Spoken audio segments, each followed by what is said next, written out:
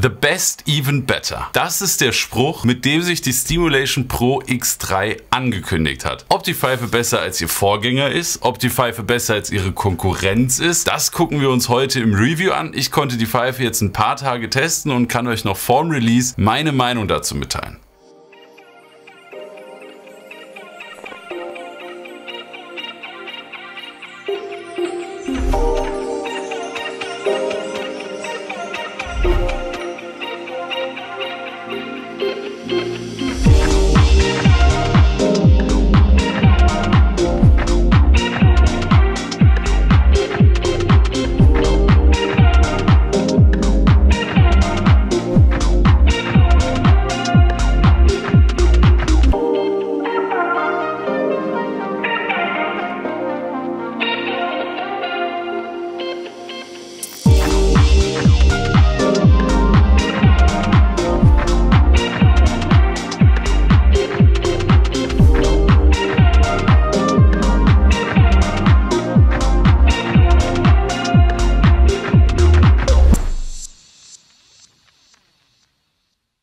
Es ist ja gar nicht so lange her, dass die Stimulation Pro X Prime rauskam, die zweite Generation der Prime Pro X, die sich jetzt aber der Namensgebung angepasst hat. Die Pro X Mini haben wir schon eine ganze Weile, aber bei der Pro X Mini fehlen einige Feature, die die Pro X Prime dann auf jeden Fall dabei hatte. Und das waren sogar so viele, dass die Generation 2 der Pro X ein bisschen alt dagegen aussah. Es hat viele gewundert, dass Stimulation schon mit der Pro X3 am Start ist, aber ich finde, es macht irgendwo nur Sinn natürlich auch in seinem Top-Modell alle Feature oder sogar noch mehr Feature als in dem Midrange-Modell zu haben. Welche das sind, was die können, gucken wir uns heute alles an. Erstmal aber ein paar Daten und Fakten. Und da müssen wir erstmal ein klein bisschen in den sauren Apfel beißen, wobei ich euch den vielleicht ein kleines bisschen versüßen kann. Es geht um den Preis. Die Stimulation Pro X3 ist vorbestellbar für 399 Euro, da hat man aber den Cooling-Adapter schon mit drin. Der reguläre Preis wird 389 Euro für die Basisvariante sein. Natürlich kann man dann noch ein X-Blow-Off dazu kaufen, man kann ein X-Blow-Off Plus dazu kaufen, man kann den Cooling-Adapter dazu kaufen und man kann sich noch weitere Sleeves und natürlich auch Bowls dazu kaufen. Es gibt übrigens wieder sieben Sleeve und sieben verschiedene Bowl-Farben, aus denen man wählen kann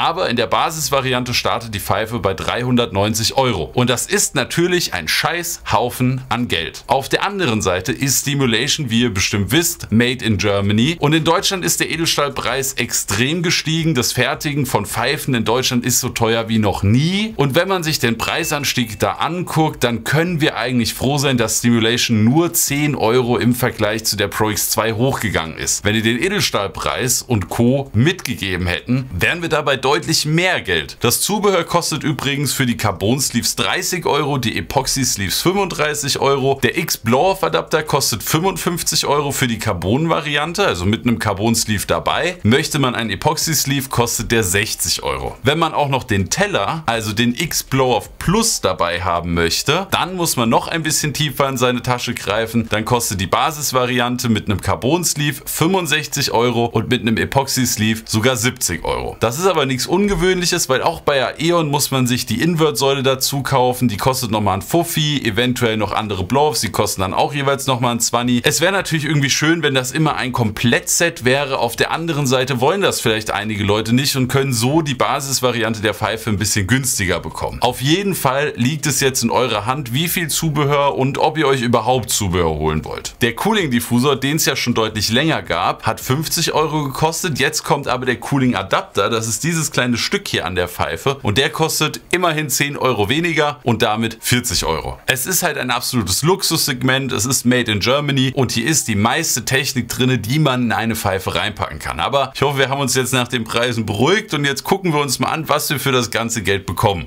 Wie immer bei den Reviews arbeiten wir uns da anhand verschiedener Kategorien entlang. Fangen wir mit Punkt 1 an, Verarbeitung, Qualität und Materialien. Und wie in meinen letzten Stimulation Videos kann ich auch hier wieder sagen, dadurch, dass wir V2A Edelstahl made in Germany, gefertigt in Germany, versendet in Germany, also ist alles made in Germany bis auf die Bowl, die kommt aus Polen, aber das ist auch okay. Das Glas ist wunderbar, ich hatte hier auch keine Luftbläschen drin oder so, also bei der Bowl wunderbar. Der Edelstahl ist hervorragend gefertigt. Ich habe es in so vielen Stimulation Stimulation-Videos schon gesagt. Ich glaube, ich muss mich da auch gar nicht so oft wiederholen. Seid euch gewiss, dass die Stimulation mit die absolut beste Verarbeitung auf dem Markt hat. Die Gewinde laufen wie Butter, es gibt keine Kratzer, die Qualitätskontrolle ist hervorragend. Allgemein die Materialien, wie die verarbeitet sind, wie die Gewinde laufen, wie die ganzen Schliffe ineinander passen, ist Creme de la Creme, Freunde. Und das sagt eigentlich auch schon alles zur Verarbeitung, Qualität und Materialien. Ich könnte da jetzt noch weitere fünf Minuten irgendwelche Lobeshymnen schwingen. Das ist aber, glaube ich, verschwendete Zeit und deswegen kommen wir zu unserem nächsten Punkt auf der Liste, das Design. Und da muss ich wie immer auch vorneweg sagen, Schönheit liegt immer im Auge des Betrachters. Und so müsst ihr eben auch bei der Pfeife wissen, findet ihr die schön oder eben nicht. Kann ich euch eigentlich nicht großartig was zu erzählen. Was ich cool finde, ist, dass wir so ein paar Kleinigkeiten haben, die die Pfeife auf jeden Fall von ihrem Vorgänger unterscheidet. Das sind eben diese Rillen, die hier überall reingefräst wurden. Da fängt sich auch sehr, sehr schön das Licht drin. Das sieht immer ganz cool aus. Also die glänzen dann einfach so ein kleines bisschen mehr. Das zieht sich von der Base über das Taucher und auch über die Rauchsäule, also durch die komplette Pfeife. Ist ganz cool, sieht schön aus, unterscheidet die Pfeife direkt von ihrem Vorgänger. Also wenn man die Pfeife anguckt, muss man nur einmal hingucken und dann weiß man, dass das die Pro X3 ist. Allgemein für mich, wie auch bei den letzten Stimulations, die rausgekommen sind, immer eine sehr klare, kühle, überlegte, aber schöne Form. Ja, die sind nicht verspielt, die sind nicht irgendwie over the top. Das ist hier kein Kirmes-Tuning. Die sind einfach simpel und schön. Das ist zumindest meine Meinung zu der Stimulation Pro X3. Wie gesagt, müsst ihr selber wissen. Noch eine andere kleine Anmerkung. Wenn euch dieses Video hier gefällt und ihr die Arbeit wertschätzt, die in diese Videos reinfließt, dann würde ich mich riesig freuen, wenn ihr unter dem Video einmal auf Abonnieren klickt, vielleicht noch einen Daumen nach oben oder gar einen Kommentar da lasst mit Cinematics waren cool, das war geil, weiß ich nicht, was euch gefallen hat. Oder auch wenn ihr sagt, das würde ich mir noch wünschen bei so einem Review, dann schreibt mir das auch gerne drunter. Kritik kann uns nur weiterbringen, aber dickes Danke an jeden Abonnenten von dem Kanal, der das Ding hier am Laufen hält. So,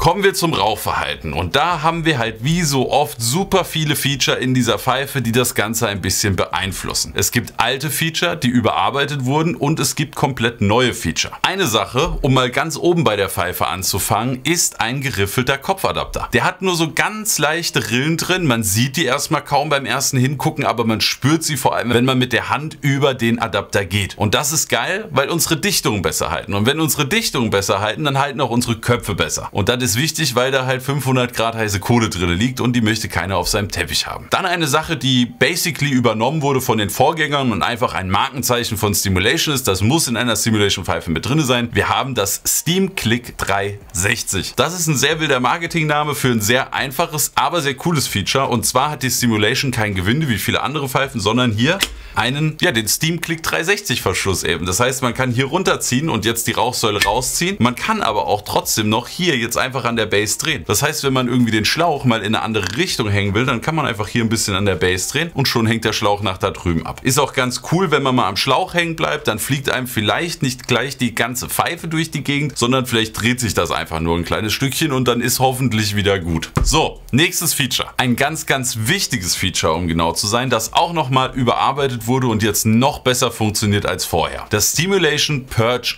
Pro-System. Wieder ein sehr ausgeklügelter Marketingname für ein hervorragendes Feature, das man ganz einfach beschreiben kann. Alle können auspusten, ohne eine Kugel rauszunehmen. Ja? Das heißt, ich kann jetzt meinen Schlauch von hier nach hier hängen. Alle können rauchen, ohne dass man den Schlauch zuhalten muss. Und trotzdem können alle entlüften mit den fancy Blow-Offs, die die Stimulation hat. Und das ist ein Feature, was nur zwei Pfeifen auf dem Markt haben, beziehungsweise die Pro X-Reihe hat das und die Aeon Edition Premium, also Aeon Edition 4 Premium. Jetzt ist es aber so, dass die Aeon Edition 4 Premium leider 2019 rausgekommen ist. Beziehungsweise war das 2019 schon cool, aber 2019 sind halt auch schon ein paar Tage her. Und Stimulation hat dieses System mittlerweile so krass verbessert, dass es wirklich unglaublich gut funktioniert. Das ist mein einziger Kritikpunkt, den ich an der Pfeife habe. Aber eine Sache ist mir aufgefallen, negativ. Und zwar, je höher man die Pfeife aufbaut. Das heißt, wir haben hier die Base, da habe ich den Cooling Adapter drauf, dann habe ich den X-Blow Adapter drauf und oben habe ich auch noch den Teller drauf. Jedes Stück, was man dazu baut, addiert ein wenig Widerstand, den das Purge Pro System zurückhalten muss. Und das funktioniert bis zu einem gewissen Part sehr, sehr gut. Das heißt, wenn man ohne den Cooling Adapter raucht und wenn man ohne den X-Blow Adapter raucht, passiert es nicht, dass Rauch aus den Anschlüssen rauskommt. Wenn ich hier jetzt aufmache, also man kann die halt verstellen, da kommen wir gleich noch zu, wenn ich den jetzt aufmache und richtig reinpuste, dann wird hier Rauch rauskommen. Und das passiert auch, wenn hier ein Schlauch dran ist. Das heißt, wenn ihr raucht, euer Kumpel hat hier den Schlauch, Schlauch dran. Ihr pustet rein, kommt aus seinem Mundstück Rauch raus. Ich muss noch mal dazu sagen, das Purge Pro ist das beste System in seiner Kategorie, aber es ist immer noch nicht zu 100% perfekt. Es ist schon verdammt nah rangekommen und nochmal deutlich besser als bei der Pro X2, aber man kann es trotzdem schaffen, es ein bisschen auszutricksen, sage ich mal.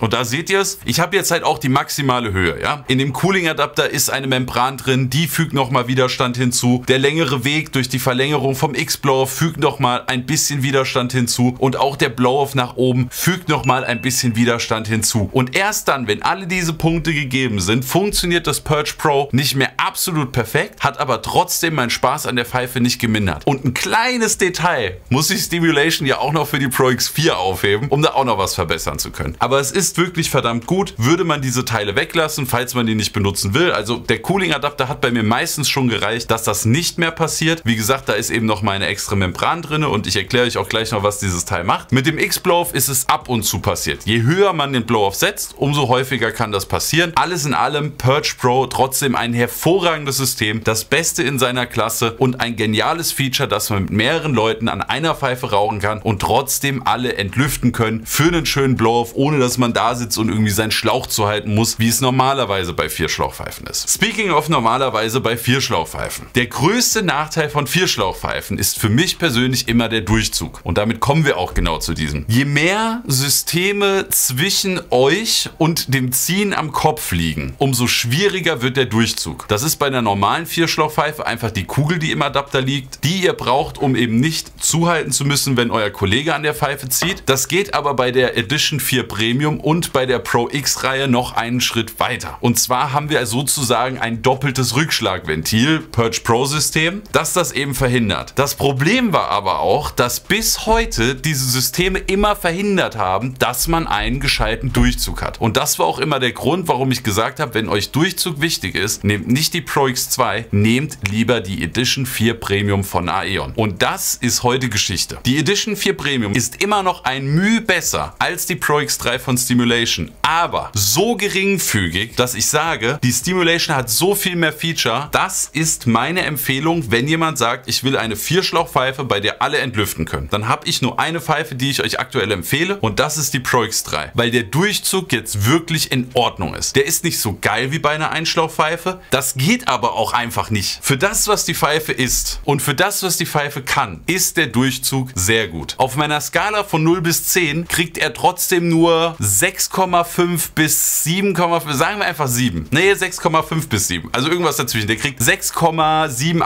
6,7853. Das ist jetzt kein geiler Durchzug, aber again, für das, was die Pfeife ist, ist das ein geiler Durchzug. Viel besser wird's nicht. Und vor allem müsstet ihr, wenn ihr von der 6,785, ich weiß nicht, was ich gesagt habe, wenn ihr von der Zahl auf die 7 wollt, weil ihr die Edition 4 Premium nehmt, dann müsst ihr auf verdammt viele Feature verzichten, die die Pro X3 eben hat. Und das wäre es mir nicht wert. Aber wir haben noch mehr Feature, Freunde. Wir machen machen weiter. Und genau all diese beschriebenen Feature fasst Stimulation wieder in einem Marketing-Term zusammen und zwar das Stimulation High Flow System. Der Durchzug wurde um 25% verbessert gegenüber seinem Vorgänger. Und die 25% machen für mich die Welt aus. By the way, ist das High-Flow-System auch eins der Systeme, das nicht in der Pro X2 war, dann aber in der Pro X Prime kam und sozusagen in der größten Serie gefehlt hat. Und das macht Stimulation damit wieder richtig und wir haben es auch in der Pro X-Reihe. The best, even better. Zwischendrin noch eine kleine Anmerkung, Freunde. Falls ihr euch die Pfeife kaufen möchtet, dann könnt ihr sehr, sehr gerne mit dem Code SWG bei Stimulation noch 40 Euro an kostenlosen Zubehör bekommen. Das ist einmal ein Schlauch und ein Konus One Mundstück. Das ist ein richtiger Edelstahlklopper, also ein wirklich massives Mundstück. Das Mundstück kostet nochmal 30 Euro und der Schlauch nochmal einen Zehner. Ich habe jetzt hier die Carbon-Variante, finde ich auch sehr schön, aber die Konus-Variante ist auch nice. Und wenn ihr Code SWG bei euch im Warenkorb noch eingebt, wenn ihr die Pfeife bestellt, kriegt ihr das kostenlos dazu. Plus ihr supportet supportet den Kanal noch damit. Also da dicker Kuss an jeden, der den Code beim Bestellen von seiner Pro X3 benutzt. Oder jeder anderen Stimulation Pfeife. Was wir auch noch an Bord haben, ist natürlich wieder das Dip-Tube-System. Das heißt, wir haben ein ausziehbares Tauchrohr. Das hat nicht mehr neun Stufen wie vorher, sondern jetzt zehn Stufen. Ob die zehnte Stufe irgendjemanden deutlich glücklicher macht als die neunte Stufe, weiß ich nicht. Sind zehn besser als neun? Mit Sicherheit. Haben ist immer besser als brauchen. Jedenfalls kann man das Tauchrohr eben ausziehen oder verkürzen. Das ist ein cooles Feature. Falls man mal ein bisschen zu wenig oder zu viel Wasser drin hat, dann kann man das einfach ein bisschen anpassen und schon läuft das wieder. Auf der anderen Seite ermöglicht das, dass man mit einem relativ hohen Wasserstand immer noch sehr geil rauchen kann. Ich mag das sehr gerne, weil das das Bowl-Volumen kleiner macht und das fühlt sich für mich ein bisschen besser an. Wer das aber nicht mag, der kann es einfach lang machen. Man kann es einstellen, wie man möchte und das ist ein sehr geiles Feature. Und wo wir gerade beim Tauchrohr sind, den Diffusor konnte man zwar schon immer abmachen, aber jetzt kann man ihn abmachen und es sieht nicht kacke aus. Vorher war da immer so ein kleiner Pinöpel, weil das praktisch außen saß und man hat halt gesehen, dass da so eine Vorrichtung ist, wo eigentlich noch was dran soll, aber dann nichts dran war. Bei der Pro X3 wurde auch das verbessert und das Taucher sieht jetzt auch schön und gleichmäßig aus, auch wenn man den Diffusor abnimmt. Und wo wir beim Diffusor sind, können wir direkt zum nächsten Feature kommen. Denn der Diffusor hat jetzt unten eine Schwimmerkugel drin. Diese verhindert, dass wenn man reinpustet, Wasser ins Taucher aufsteigen kann. Das ist euch vielleicht schon mal passiert. Ihr habt Pfeife geraucht, ein Kumpel pustet rein wie bekloppt und auf einmal hört ihr nur ein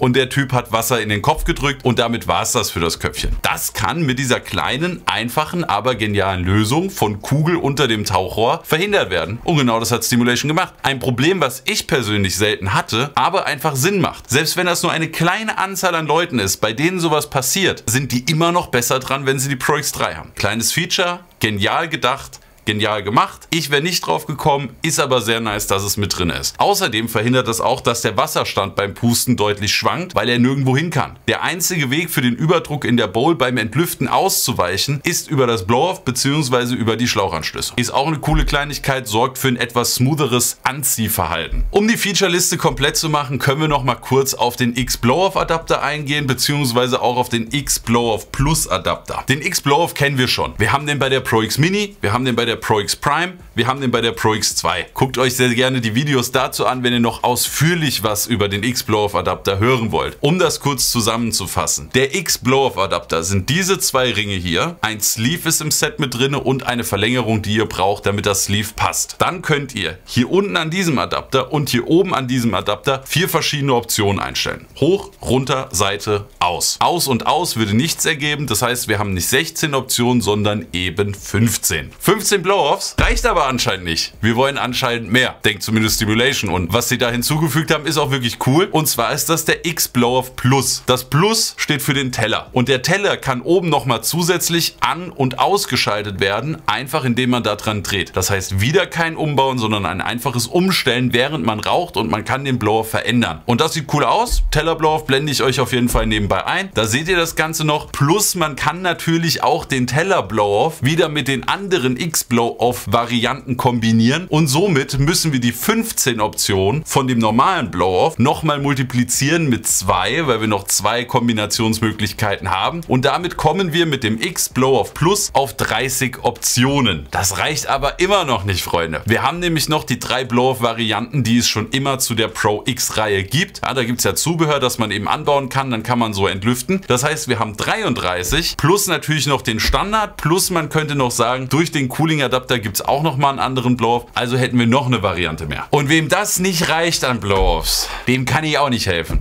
Also für mich ist das Ding jetzt langsam mal durchgespielt, ist aber sehr geil geworden. Ebenfalls alt, aber irgendwie neu ist der Cooling Diffusor. Den Cooling Diffusor könnt ihr euch auch sehr gerne nochmal das Video zu der Pro X2 angucken. Das war ein Diffusor, was wie, wie der Name es schon sagt, sitzt unten am Tauchrohr und man konnte den konfigurieren, sodass Luft beim Pusten in die Pfeife durch den Kopf geleitet wurde, was dafür gesorgt hat, dass der Kopf eben ein kleines bisschen runtergekühlt wird. Wenn das euch ab und zu passiert, dass euer Köpfchen zu heiß wird, dann ist der Cooling Diffusor für euch was was sehr, sehr geil ist. Gerade wenn man mit mehreren Leuten an der Pfeife raucht und da viel dran gezogen wird, kann das passieren, dass das mal ganz schön heiß unter dem Köpfchen wird. Das wird verhindert durch den Cooling Diffusor. Der Cooling Diffusor hatte aber ein Problem. Du musstest den vorher dran schrauben und dann war der dran. Außer du hast die halbe Pfeife nochmal auseinandergenommen, was unglaublich nervig war, wenn du mitten im Rauchen gemerkt hast, scheiße, jetzt ist aber zu kalt. Und das hat Stimulation wohl auch so gesehen, hat sich was anderes überlegt. Und das ist der Cooling Adapter. Der Cooling Adapter wird zwischen Base und Rauchsäule oder zwischen Base Und X-Blow aufgeschraubt. Und das Geniale an dem Cooling Adapter ist, dass er jetzt zugänglich ist. Das heißt, an dieser Rändelung, die wir hier drin haben, können wir einfach während dem Rauchen drehen, das Ding an- und ausmachen, aber auch komplett stufenlos zwischen den Varianten einstellen. Das heißt, nicht nur könnt ihr jetzt während dem Rauchen an- und ausmachen, ihr könnt auch noch sagen, oh, das ist ein bisschen zu viel, aber ein bisschen kühlen will ich trotzdem noch und das funktioniert. Sehr genial, finde ich tausendmal besser als den Cooling Diffusor, der war auch schon extrem cool zu seiner Zeit, aber das ist Cooling Diffusor 2.0 für mich, beziehungsweise Diffusor stimmt halt nicht mehr. Cooling Adapter. Aber für mich die wirklich deutlich bessere Lösung für ein noch besseres Ergebnis, weil mehr Möglichkeiten.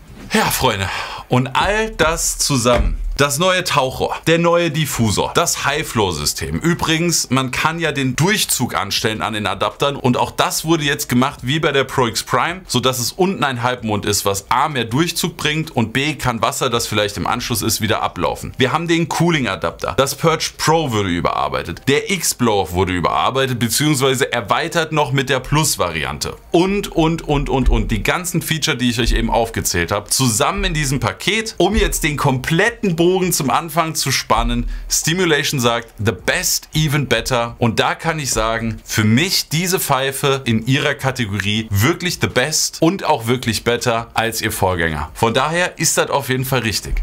Jetzt bleibt noch die eine Frage. Für wen ist das Ding? Und ich denke, die Leute, die das brauchen, werden das auf jeden Fall direkt wissen. Wenn ihr häufig mit mehreren Leuten an einer Pfeife raucht, ihr dabei entlüften können wollt und wenn euch das wichtig ist, dann ist das eure Pfeife. Dann ist noch die Frage, habt ihr vielleicht die Pro X2? Sollte man die verkaufen, sollte man upgraden? Sehr schwierige Frage, Freunde. Ich würde versuchen, die Pro X2 zu verkaufen. Wenn ihr da noch gut Geld mitmacht, dann würde ich upgraden. Mich persönlich würde es stören, den Durchschnitt Durchzug von der Pro X2 zu haben, wo ich jetzt weiß, wie gut der von der Pro X3 ist. Im Endeffekt müsst ihr es selber wissen, ob ihr da upgraden wollt. Aber die Pro X3, eine krasse Empfehlung, eine krasse Pfeife und ein krasses Komplettset und jetzt auch wieder top of the line, die Nummer 1 in ihrer Kategorie, die größte Pfeife, die beste Pfeife von Stimulation, die wir bis jetzt gesehen haben. Freunde, wenn ihr noch Fragen habt, dann schreibt mir das sehr, sehr gerne unten in die Kommentare. Gucke ich mir sehr gerne an. Und dann sehen wir uns beim nächsten Mal. Ich hoffe, das Review hat euch gefallen. Daumen nach oben oder Abo da lassen. Bis zum nächsten Mal.